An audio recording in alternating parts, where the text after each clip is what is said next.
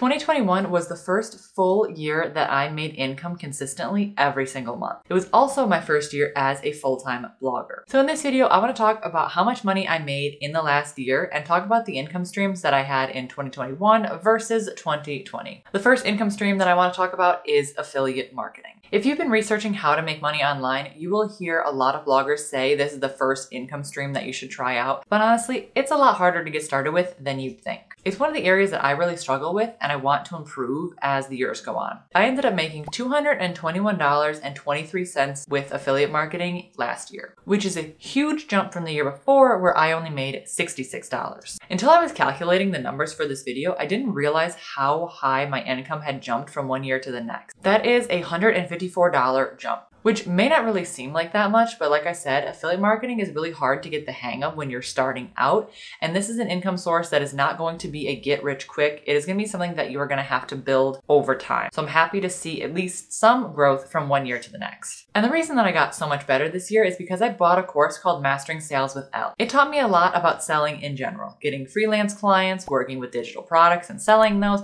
but especially it taught you how to do affiliate marketing. So if you're struggling with this, this is a course that will help you you. It won't be an immediate get rich quick scenario, but it is going to help you grow your income streams within the next year. And of course, I will leave a link down below in the description. Next, I want to talk about my smallest income source, which is blog ads. I just started offering these this year, so this wasn't even an income source for me in 2020. It's basically where I will just link a few of your blog posts in a Meet the Advertisers post, I'll promote it to my email list, and I'll promote your blog posts on social media. I didn't get a huge amount of advertisers this year, but I did start later into the year and I also didn't really promote this income source very much, so it's kind of my fault it didn't make a whole bunch of money. And just in general, this was always going to be a small source because it's a really small price tag. However, I did make $14.42 with this income source, so I'm hoping within the next couple of years, this will actually grow to be a bigger income source for me. Digital products is the next income source that did really well for me. I had a shop on Gumroad and Etsy, and I recently just took down my Etsy shop because of all of the fees that you get from it. So I'm just gonna be using Gumroad moving forward. At the beginning of the year, I was getting a payout each week from Etsy from one of my listings that was ranking. Eventually, the listing stopped ranking and my sales fell off a little bit after that, which is to be expected. I made $216 from digital products within 2021, which is a huge jump from 2020 where I only made 92. And that jump is because I didn't actually have any listings on Etsy until August of 2020, so it wasn't up for a full year. And I also have a lot more products this year, which means obviously more sales. If you're looking for a good way to start making money blogging, I highly recommend trying out digital products. One of my favorite things to do is to wake up with a notification on my phone that I sold something while I was sleeping. Digital products make it so much easier than physical products because you don't have to worry about shipping, you don't have to worry about producing anything, you can just make the product once, create the listing once, promote it out, and it gets sold. There's no more back end work that you really need to do other than promoting it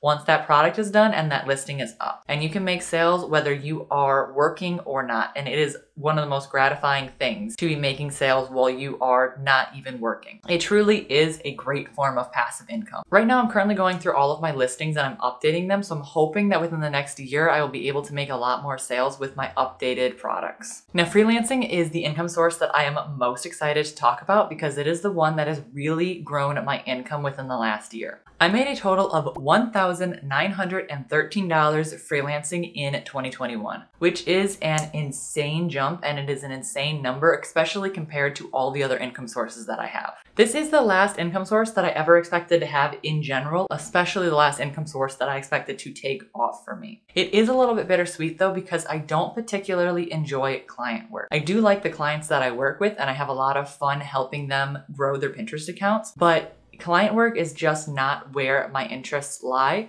I really prefer to just create content. So I'm hoping that within the next year, I can slowly start to phase out this income source and I can pick up where I lost that income with all of my other income sources. But for now, I'm happy helping clients growing their Pinterest account and making a good chunk of change while I'm doing it. In 2020, I didn't get many freelance clients. And a lot of those reasons are because I was still working full time up until March of 2020. So I didn't start my freelancing services until a lot later into the year. And I think I only had two clients from August until December. So I didn't really get a whole lot of income. It didn't take off until 2021 really. So that is why in 2020, I only made $25 off of freelancing services. So overall, the amount of income that I made in 2021 was $2,518. This is a gigantic jump from 2020 where I only made $184 for the entire year. I cannot believe the progress that I have made from year to year.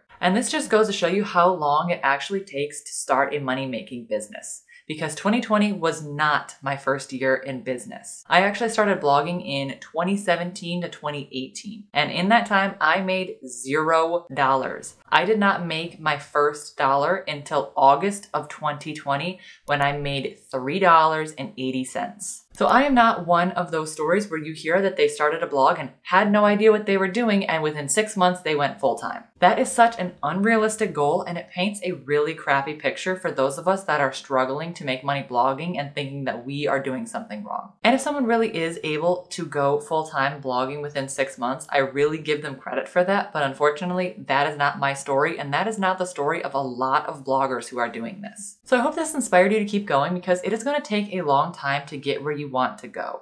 I still fully am not exactly where I want to be, but I know that in time I will get there, especially looking back on how well I did one year versus the next year. So I'm excited that I can finally start to see some progress, and I'm really excited to see what 2022 is going to bring us. If you liked this video, make sure to give it a thumbs up and subscribe to my channel down below for more videos just like this. And I'll see you next week. Bye!